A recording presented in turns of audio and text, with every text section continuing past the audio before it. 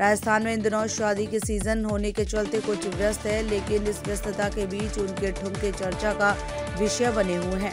माननीय इन दिनों शादी विवाह में जमकर ठुमके लगाते नज़र आ रहे ये वीडियो लूड़ी विधायक महेंद्र सिंह बिश्नोई का है, जो अपने दोस्त के यहाँ शादी समारोह में जमकर नाचते नज़र आ रहे हैं।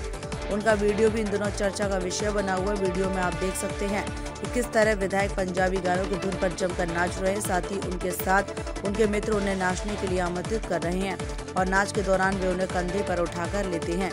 वैसे तो लूड़ी के विधायक महेंद्र बिश्नोई अपने शांत स्वभाव के लिए जाने जाते हैं।